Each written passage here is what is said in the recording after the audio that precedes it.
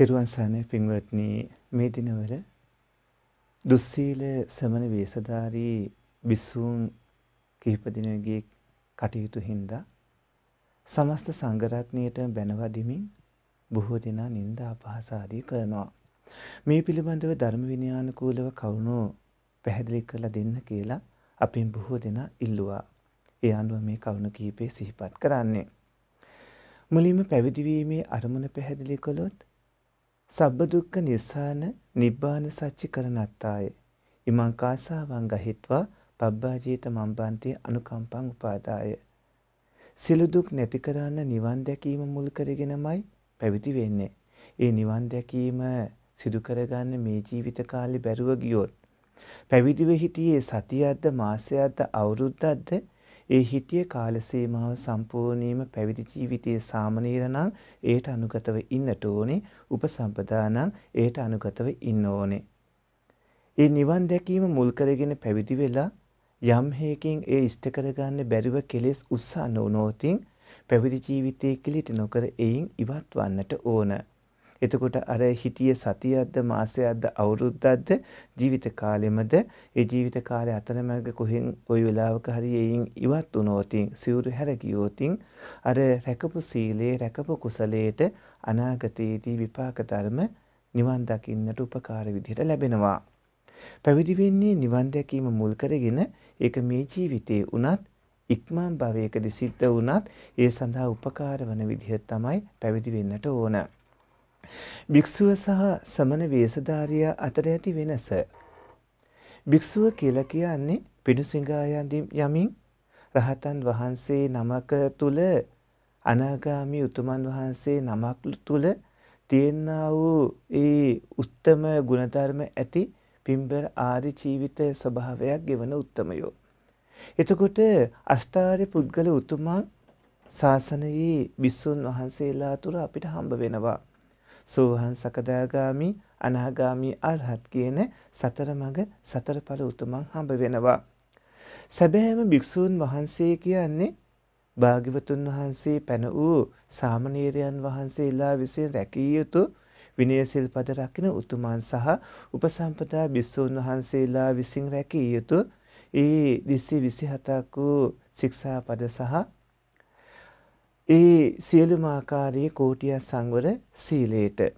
එතකොට මේ බිස්සුන් වහන්සේ නමක් බවට පත්වෙන්න නම් ඒවා රකින ඒ තුල පිහිටපු කෙනෙක් වෙන්න ඕන. ඒවා නොරකින ඒ තුල පිහිටා නැති ඒ වේසය අරගෙන ඉන්න අය ශ්‍රමණ වේසධාරීන් වෙනවා. ශ්‍රමණ වේසධාරියෙක් වරදක් කළ පමණින් භික්ෂුව ඒත් නියෝජනය කරන්නේ නැහැ. බුදුරජාණන් වහන්සේ වැඩ සිටියේ කාලෙදී අරහත් දජයේ දැරීමේ ආරම්භය සහ එහි අවසානය ගැන හිතන්න. අරහත් දජය දැරීමේ ආරම්භය සනිටුහන් වෙන්නේ පස්සක තවුසන්ගෙන්. එදා පස්සක තවුසන් සෝහන් මාර්ගයට පත් වුණාට පස්සේ එහි බික්කු මහනුප සම්පදාව පළවෙනි දිනයේ කොණ්ඩඤ්ඤ තාපස්තුමා දෙවන දිනයේ බප්පතාපස්තුමා ওই අනුපිළිවෙලට ලැබුවා. එතකොට අරහත් දජය දැරීමේ එහෙ බික්කෝ මහනුපසම්පදාව ලබලා ඉන් පසුව පින්වත්නි බුදුරජාණන් වහන්සේ ආනන්ද තෙරුන් වහන්සේට මගධ රටේ කුඹුරියායක් පෙන්නලා බිස්සුවගේ චීවරේ මේ විදිහට කඩකපල සකස් කරන්න ඕන කියලා විනයානුකූලව සකස් කළා. මේ ශාසනයෙන් පිටතත් මේ පැවිදි වෙස් අරගෙන ඉන්න අය ඒ කාලේ ඕන තරම් හිටියා. බෝසතාණන් වහන්සේ අබිනිස්කමනය කරන්න මුල් වුණු අවසාන නිමිත්ත උනේත් සතරපේ නිමිතිවල පැවිදි රූපය.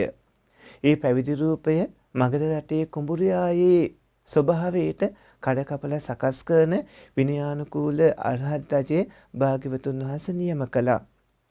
ඒ අරහත් දජය එහෙම නියම කරලා අපි දැන් ඉන්න කාලෙත් පහු කරලා අනාගතයේදී කාසාව කණ්ඩක බිස්සෝන් දක්වා එනකොට ඒ අය අතේ හරි ගෙලේ හරි ඉනේ හරි ඒ කහවන් යම් නූලක් යම් රෙදිපටක් ගැට ගහගෙන ඉන්න තත්වයක් ඒවි.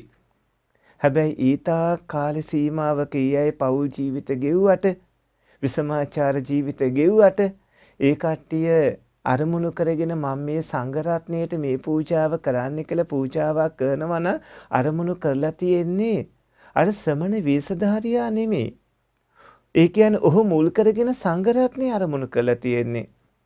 සුපටිපන්නෝ උජුපටිපන්නෝ ඥායපටිපන්නෝ අංජලි කරණීයෝ ඒ නව ආකාර ගුණයන්ගෙන් සෝභමාන වුණෝ ඒ විරාජමාන ප්‍රතාපවත් සරියුත් මුගලන් නන්දරාහුල ආදී නික්ලේශී සංඝ පරම්පරාවේ සංඝ රත්නය අරමුණු කරලා තියෙන්නේ.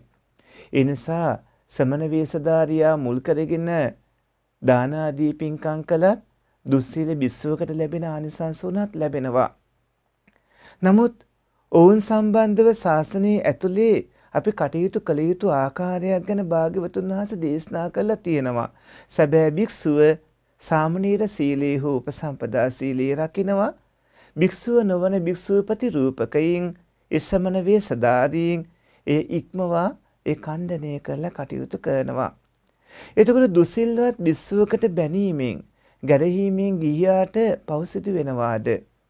ගිහි අය දුසිල්ලත් බිස්සුවකට විතරක් නෙමෙයි දුස්සීල ගිහියෙක්ට බැන්නත් පව් සිද්ධ වෙනවා. දුස්සීල ගිහියෙක්ට ගැහුවත් පව් සිද්ධ වෙනවා. මොකද පව කියන්නේ අකුසල සිත්වලට ලැබෙන විපාක ස්වභාවය. ඔබ යම්කිසි කෙනෙක්ට බනිනවා නම් ගහනවා නම් එතන තියෙන්නේ මිච්ඡා කම්මන්ති මිච්ඡා වාචා ඔය දෙක තියෙන්නේ. ඔබ සතෙක්ට ගැහුවත් පව් සිද්ධ වෙනවා. ඒක සතේද්ද දුස්සීල මනුස්සයෙක්ද සිල්වත් මනුස්සයෙක්ද දුස්සීල බිස්සුවක්ද සිල්වත් භික්ෂුවක්ද කියලා නැහැ. ඔබ පහර දෙනවා නම් පහර දුයිප ඔබ වැරදි. ඔබට එහෙම අයිතියක් නැහැ තව කෙනෙක්ගේ සීලය නිසා තව කෙනෙක්ගේ පිළිහීම නිසා තව කෙනෙක්ගේ කඩාවැටීම නිසා තව කෙනෙක් මද්ද්‍රව්‍ය බොනවා තව කෙනෙක් මෙහෙම දුරාචාරයේ හැසිරෙනවා කියලා කාටවත් ගහන ඔබේ නිවස අල්ලපු නිවැසියා මද්‍රව්‍ය බොනවා කියලා ඔබට බෑ ඒ නිවසට ගිහලා ඔහුට හොඳටම ගහන්න මොකද බොන්නේ කියලා. ඔබේ නිවසේ ඉන්නේ අසල්වැසියා කාමයේ වර්ධව හැසිරෙනවා කියලා ඔබට අයිතියක් නැහැ.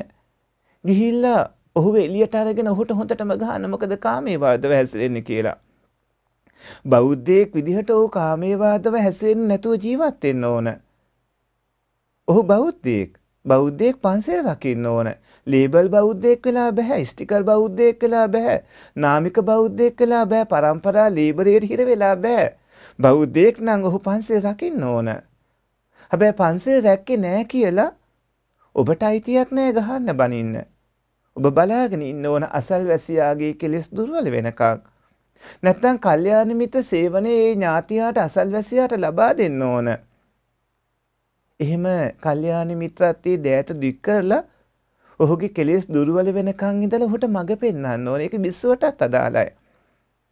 බිස්සෝ ජීවිතයට ඇතුල් වෙන්නේ ගිහි ඇත්තන් කියලා නෙමෙයි තමන්ගේ කැමැත්තෙන්. ඒක අපිට බෑ. බිස්සුන් වහන්සේලා විදියට බලයෙන්ම මහාන කරන්න. බාරකරුවන්ගේ කැමැත්ත ඕන, ඔහුගේ කැමැත්ත ඕන. ඔහුගේ කැමැත්තෙන් එන කැමැත්තෙන් යන තැනක්. ඔහු කැමැත්තෙන් රකින්න ඔහු කැමැත්තෙන් නොරකින්න තැනක්.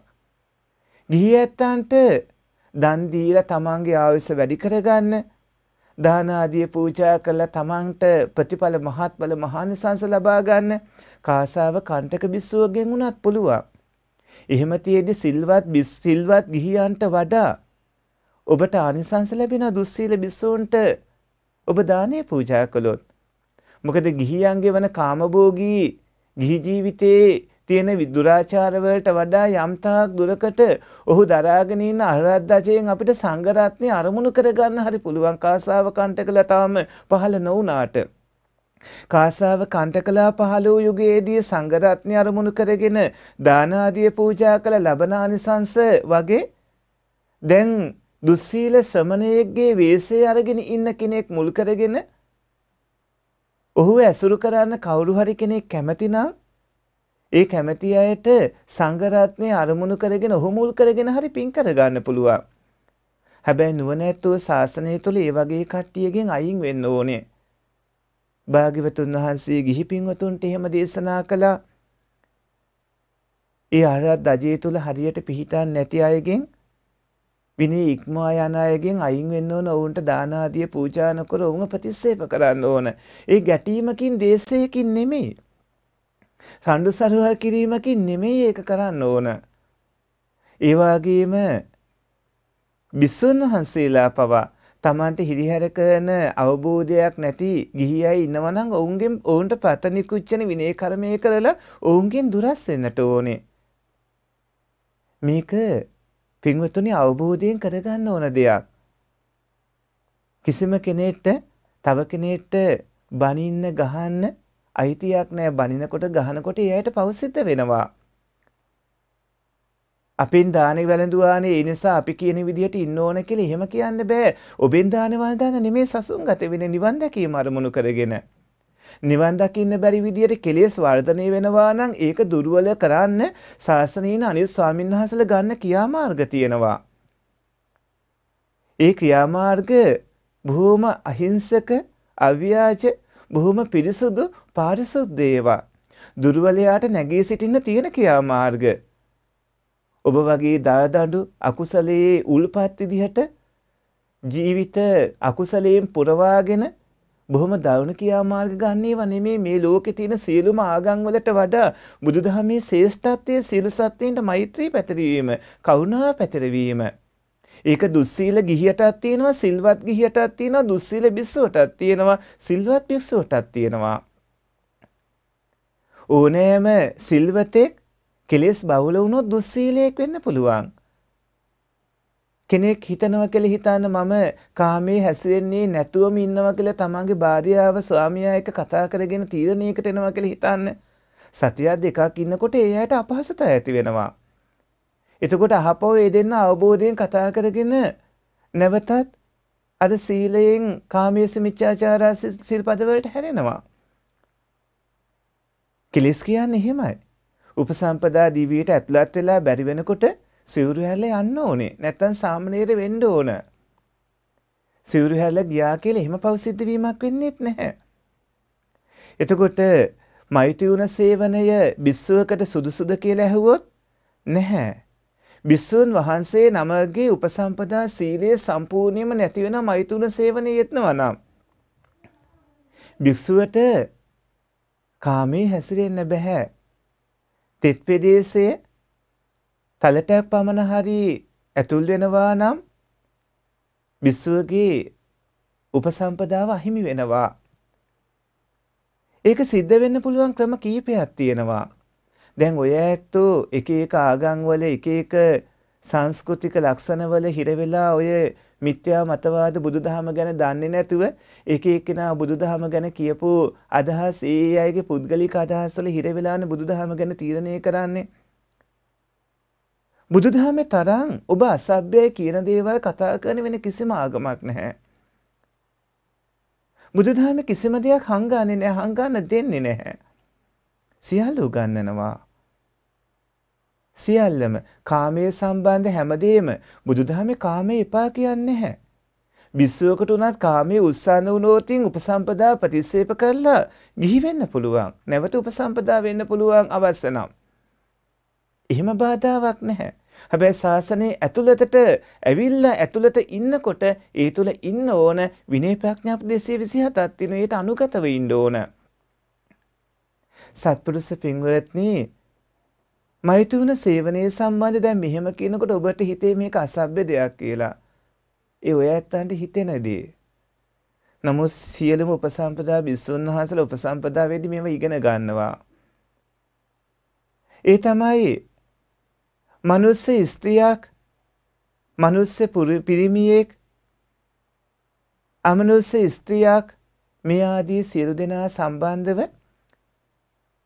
ගන්නකොට ඒ අයගේ මුඛ මාර්ගය ගුද මාර්ගය යෝනි මාර්ගය මේ ස්ථානවල තලටක් පමණක් හෝ තමාන්ගේ ලිංග ප්‍රදේශයේ ලිංගයේ ඉන්ද්‍රිය ඇතුල් කරනවා නම්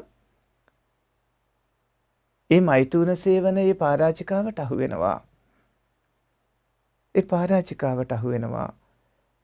හැබැයි හොඳටම රාගයෙන් අන්ධ වෙලා මත් වෙලා ඉන්න වෙලාවක රාගයෙන් හොඳට මුසපත් වෙලා ඉන්න වෙලාවක ඒ වෙලාවේදී උපසම්පදාව ලැබුවා වගේම උපසම්පදා ප්‍රතික්ෂේප කරන්න පුළුවන් ක්‍රමක් තියෙනවා.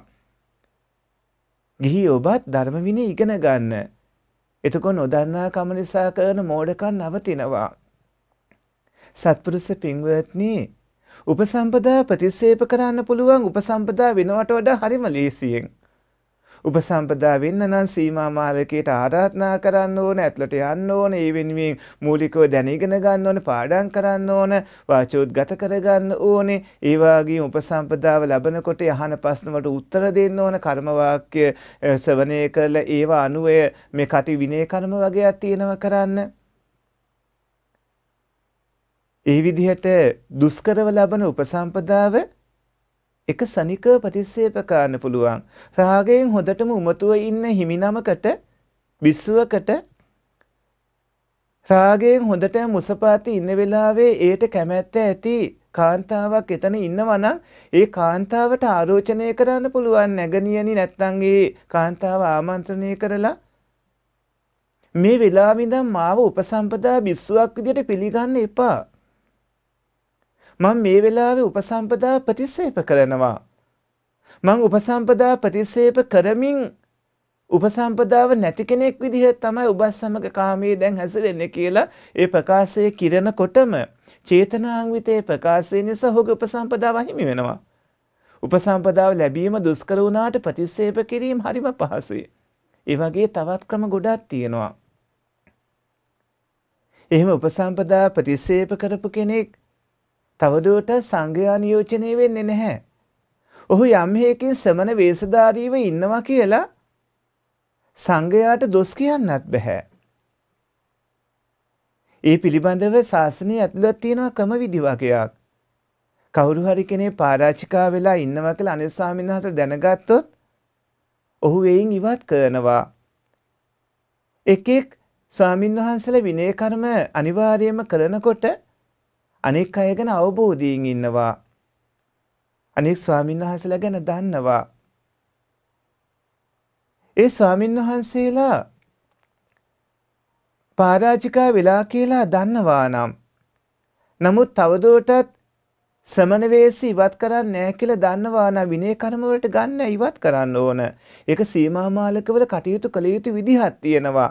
මේ කවුණු දැනගන්නකොට ලේසියෙන් කෙනෙක් පරාජිකාදී තත්ත්වයට පත් වෙලා ඉන්න උත්සාහ කරන්නේත් නැහැ.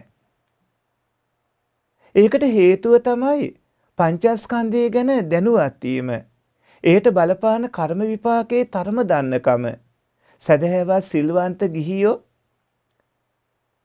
බොහෝම සදහැසිතින් පූජා කරන දානේ දුස්සීල වෙන්න වැළඳුවොත් ඒක ගිනිගුලි කිල්ල වගේ භාග්‍යවතුන් වහන්සේ ඒක දේශනා කළා. තමන්ට තමන්ව වද දෙනවා තවදුරටත් ඉන්න බෑ. ඔවුන් ශාසනයෙන් ඉවත් වෙනවා. ඉවත් වෙන තැනට ඔවුන්ව පත් වෙනවා. තවදුරටත් ඔවුන් ඉන්නවා නම් ඒකේ කර්මයේ අතිශයින් බරපතලයි. හැබැයි ඔවුන් මුල් කරගෙන දන් දුන්නා කියලා දායකයින්ට ආනිසංස දුස්සීල විශ්වක දුන්නු ආනිසංස ලැබෙනවා. ඒ දුස්සීල වීමෙන් ඔවුන්ට තමයි ඒ දුස්සීල උණු භික්ෂුවට තමයි හානිය තියෙන්නේ. එතකොට දුසිල්ලත් භික්ෂුවකට බැනීමෙන් ගැරහීමෙන් ගිහියාට පෞසිද්ධ වෙනවාද? ඕ පෞසිද්ධ වෙනවා. මෛත්‍රිුණ සේවනය කළෝතින් භික්ෂුවගේ උපසම්පදාව නැති වෙනවා. නමුත් උපසම්පදා ප්‍රතික්ෂේප කරන්න පුළුවන් ක්‍රම ගොඩක් තියෙනවා. දැන් කෙනෙක් සිවුරු හැරියොත් ඒක ඇත්තටම විශිෂ්ට දෙයක්. නමුත් දැන් සමාජයේ දකින්න සිවුරු හැර යාම පෞකාරකමක් වගේනේ. ඒකට හේතුව තමයි ඔවුන්ගෙන් කාලා බීලා පෝෂණය වෙලා යැපිලා ඊට පස්සේ සිවුරු හැරලා ගියා කියලා. ඔබෙන් කන්න බලාගෙන කවුරුත් පැවිදි වෙන්නේ නැහැ.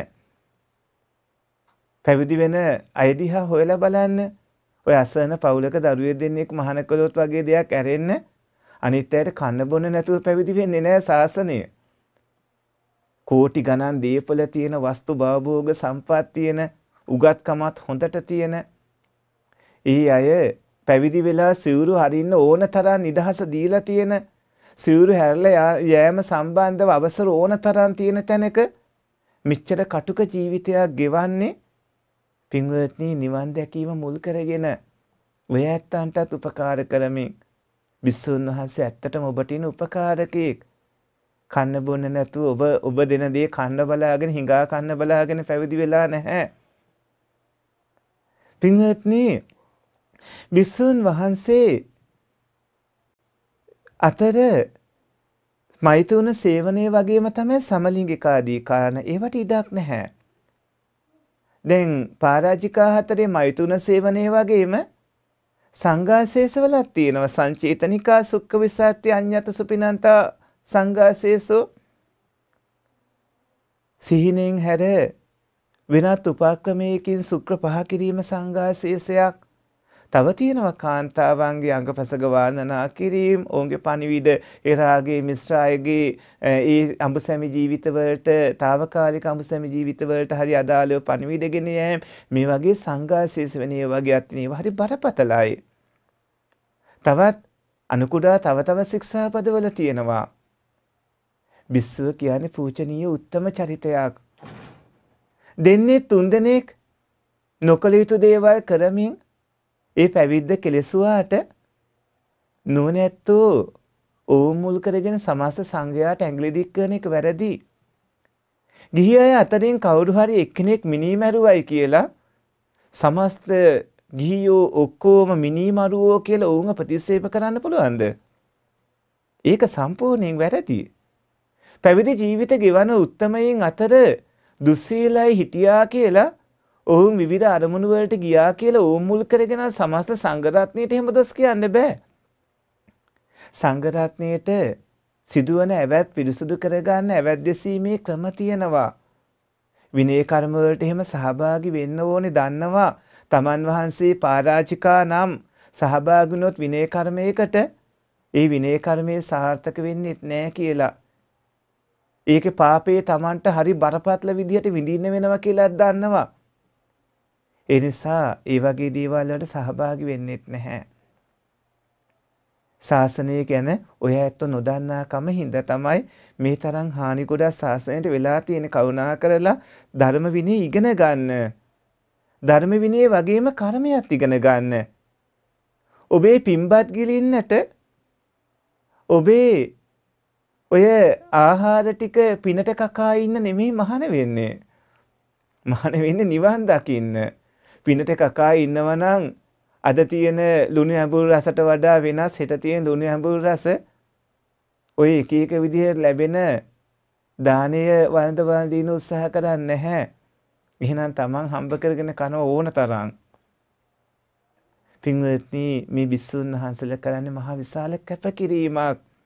බුද්ධිමත් වෙන්න දේශපාලන උපක්‍රමිකයින් තමන්ගේ අරමුණු වලට යන්න උත්සාහ කරන එක තීරුම් ගන්න. ඒ වගේම විවිධ අන්තවාදී ආගමික කණ්ඩායම් තමන්ගේ අරමුණු වලට යන්න උත්සාහ කරන එක තේරුම් ගන්න. කුමාන්ත්‍රණ කුමාන්ත්‍රණ විදිය තේරුම් ගන්න ඔවුන්ගේ කුමාන්ත්‍රණ සාර්ථක කරගන්නට ශාසනයේ ඇතුළත ඉන්න දුස්සීල සමන ප්‍රතිරූපකයෝ නිසා පුළුවන් වෙලා තියෙන ඒවා තේරුම් ගන්න. දුස්සීල සමන ප්‍රතිරූපකයින් කීප දෙනෙක් නිසා අර මේ බෞද්ධ පරිසරය විනාශ කරන්න හදන තමන්ගේ ආගම් ප්‍රචාරය කරන්න හදන ඒ වාගේ මිත්‍යා දෘෂ්ටිය රට පුරා ව්‍යාප්ත කරන්න හදන දේශපාලන බලය ගන්න හදන කට්ටිය ශාසනයට පහර ගහන එක තේරුම් ගන්න. බිස්සුන් වහන්සේට උපසම්පදා ප්‍රතික්ෂේප කරන්න පුළුවන් ක්‍රම ගොඩක් තියෙනවා. ඒ වගේම වැරදි කරපු බිස්සුන් වහන්සේ අනෙක් සම්බන්ධව අනෙක් බිස්සුන් වහන්සේලාට ගන්න පුළුවන් ක්‍රියාමාර්ගත් ගොඩක් තියෙනවා. වැරදි කරපු බිස්සුන් වහන්සේලාව ගන්නෙ නැහැ විනය කර්මවලට. උන්වහන්සේලා ප්‍රතික්ෂේප කරනවා. ඒ වගේම තමයි මතක තබා ගන්න දැන්නේ ඔය ඉංග්‍රීසීන්ගේ විහාර දේවාල ගම් 50 වගේ දේවල් හදාගෙන සාසනය අනාගතේ විනාශ කරලා තියෙන්නේ. එහෙම නැත්නම් සැබෑවටම වෙන්න ඕනේ උපසම්පදාවෙන් අවුරුදු 5ක නිසකාලේ ඉඳලා උපසම්පදාවෙන් අවුරුදු 10ක් පනිනකොට සිස්සයෙන් මහාන කරන්න පුළුවන් පරිසරය තියෙනවා. ඒ ඒ බිස්සුන් වහන්සේලාට කැමැති පළාතවලට ගිහිලා නව විහාරස්ථාන හදාගෙන උන්වහන්සේලාට එකතු වන දායක පින්වතුන් එක්ක උන්වහන්සේලාගේ ඒ ශාසනික කර්තව්‍යයන් කරන භාග්‍යවතුන් වහන්සේ නිර්මාණය කළ පරිසරය තියෙන්න ඕන. එහෙම නැතුව දැන් එකම පන්සල් ටිකක් විතරක් සීමා කරලා තියෙනවානේ.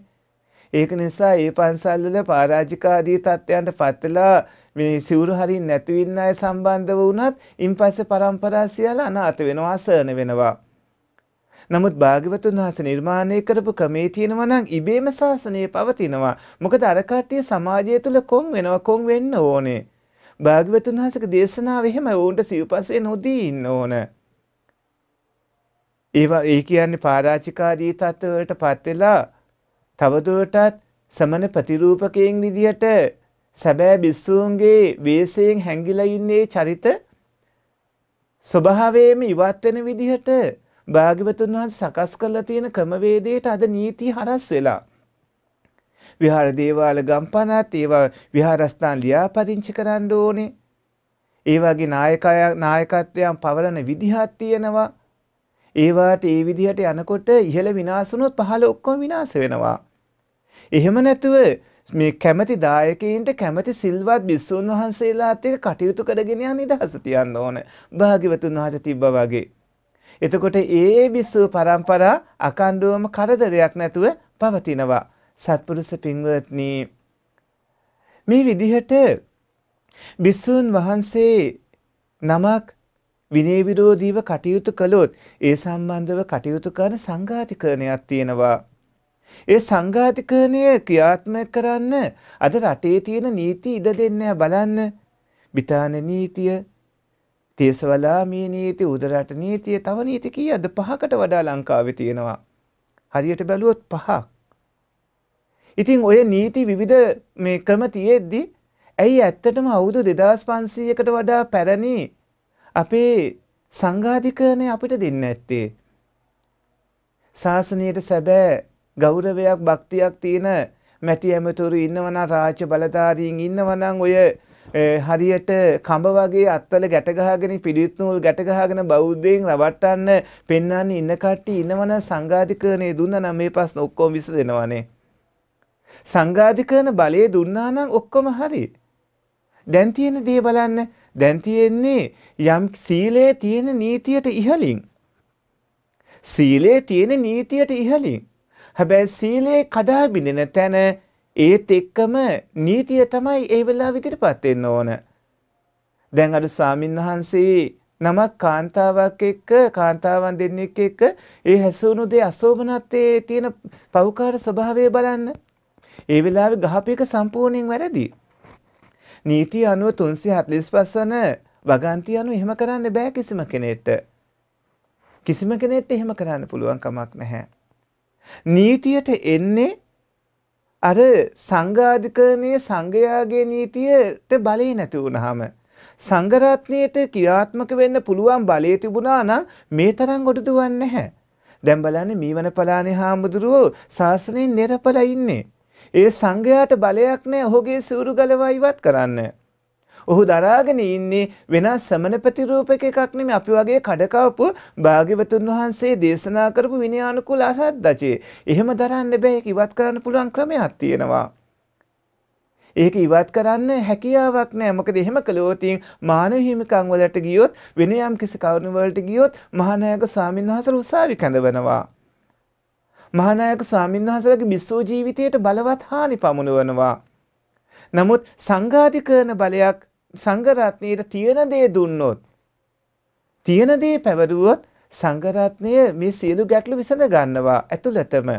ඒ සඳහා අනිත් අයගේ පුද්ගලික ඒ නිවන් දැකීමට අදාළ මේ ජීවිතය හෝ අනාගත භවයක උපකාර විය හැකි මාර්ගය වහන්නෙත් නැහැ. අස්ලම් අගක් තරම්වත් ඉඩක් තියනවද කියලා බලනවා දුස්සීල බිස්සවක් වුණත් හරි මාර්ගයට ගන්න. ඒ වගේම තමයි දැන් අහලා තියෙනවනේ මේ සමලිංගිකත්වයේ ගැන පුංචි දරුවන් ගැන පින්වතුනි කාන්තාවන් සහ දරුවන් ගැන බිස්සුන් වහන්සේ පිළිපදින්න ඕනේ විදිහක් තියෙනවා. කාන්තාවන් කිව්වහම ඔවුන් නොදකින තරමටම හොඳයි. අදස්සනම් ආනන්ද ආනන්ද තෙරුන් වහන්සේ අහනවනේ ස්වාමීනි අපි කාන්තාවන් කෙරෙහි පිළිපදින්න ඕනේ කොහොමද කියලා. ආනන්දේ කාන්තාවන් නොදකින තරමටම හොඳයි. භාග්‍යවතුන් වහන්සේ එහෙම දේශනා කළා. හොඳයි ස්වාමීනි දැක්කොත් කතා නොකරන තරමට හොඳයි ආනන්ද.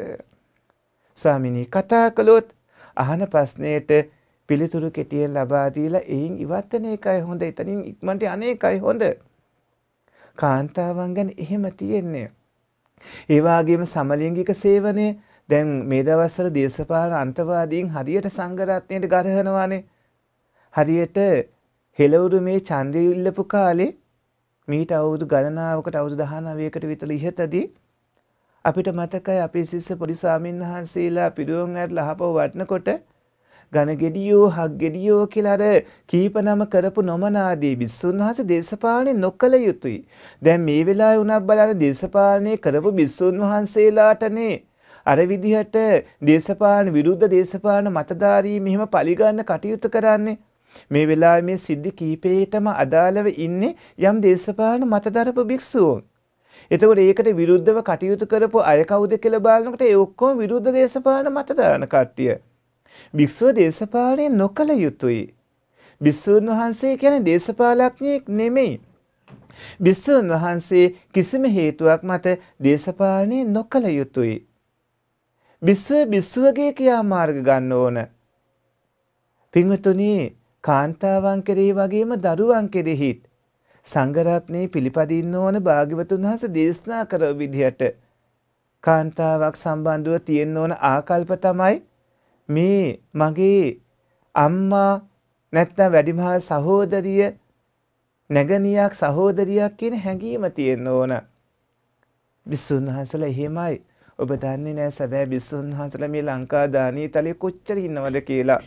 ආරණ සේනාසන විතරක් නෙමේ ගාමවාසී පින්වතුන් වහන්සේලා අතර මතක තබා ගන්න අතිපූජනීය රේරුකාණේ චන්දියමල නායක මහින්පාණන් වහන්සේ ආරණ සේනාසනයක නෙමේ පන්සලක වැඩ සිටියේ.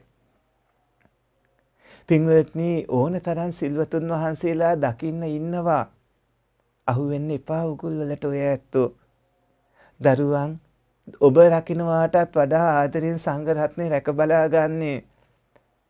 ඒකට හොඳම සාක්ෂිය තමයි පුංචි කාලේ පැවිදි වූ සාමින් වහන්සේලා වැඩිහිටි ඊතා ප්‍රබල ධර්මදර විනයදර බිස්සුන් වෙලා කටයුතු කිරීම දැන් පන්සලේ සෙල්ලම කියලා ඔය ඇත්තෝ සංඝරත්නයට අපහාස කරන්නත් පටන් අරන්නේ.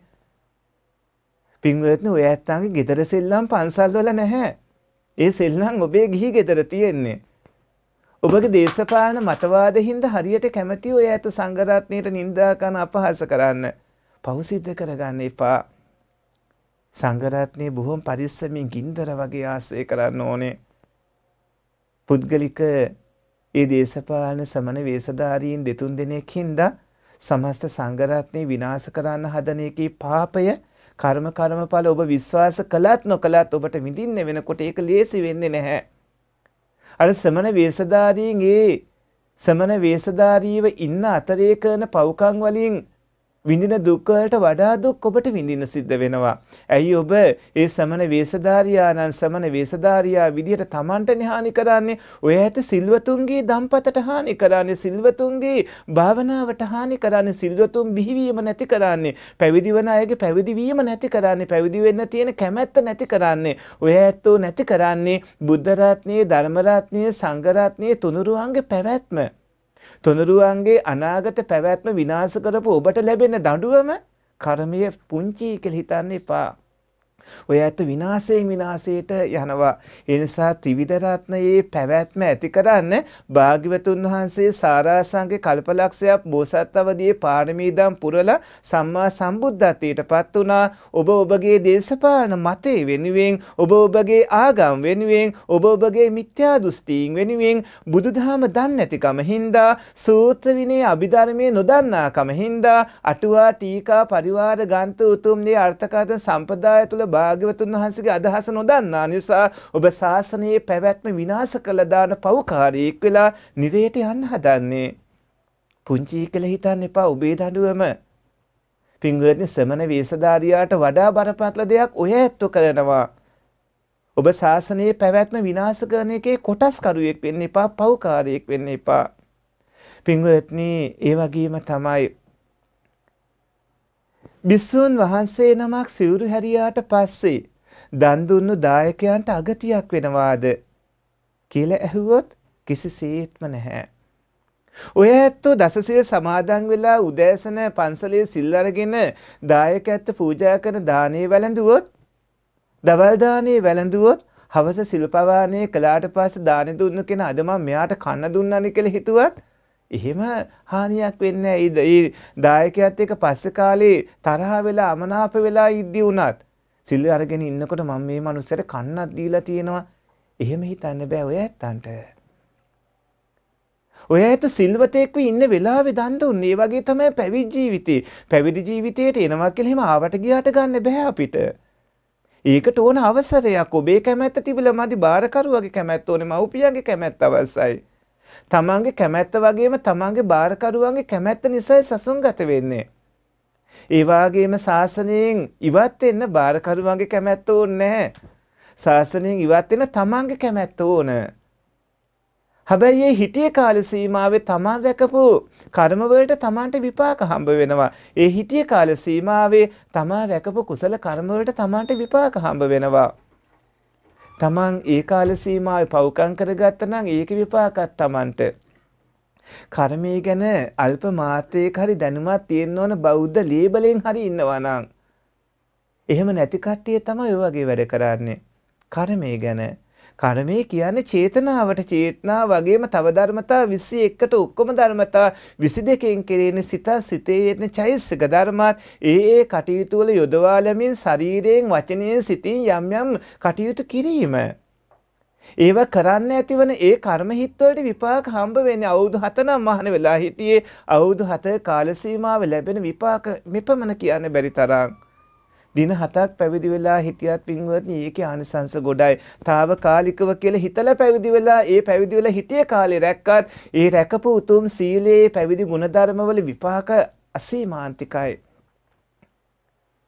සිවුරු හැරලා ගියාට පස්සේ දන් දුන්නු ඇත්තන්ට ලැබෙන ප්‍රතිලාභ ගොඩක් තියෙනවා. එකක් තමයි Tamanට තහවුරු කරගන්න පුළුවන් Taman ඇත්තටම පැවිදි ජීවිතය තුළ ඉඳමින් හිටිය බිස්සුවකට දුන්නා කියලා දානය. ඒ වගේම තුන් කාල වාතයේ සංඝරත්නයට දානය පූජා කළා කියලා.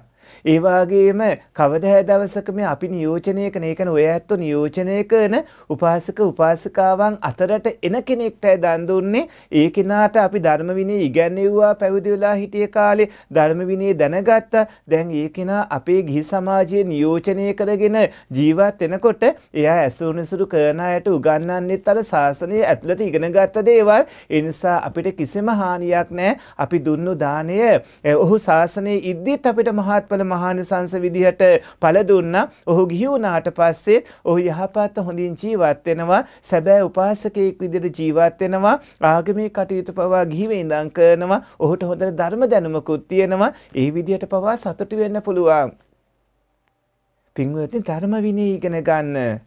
ඔබ ධර්ම විනය ඉගෙන ගන්න ඇති හින්දා ඔබ උඩ බලාගෙන කෙල ගහ ගන්නවා. ඒ වගේම සිවුරු හැරීමෙන් සිවුරු හරින කෙනාට පව් සිද්ධ වෙනවද කියලා ඇහුවොත් කිසිසේත්ම නැහැ. සිවුරු හරිනේ තමන්ගේ කැමැත්තෙන් තවදුරටත් රකින්න බැරි නම් බෑ කියලා දැන තැන සිවුරු හැරලා යන්න ඕන. අහපව රකින්න පුළුවන් කියලා දැනගත්තාම රකින්න ඕනේ.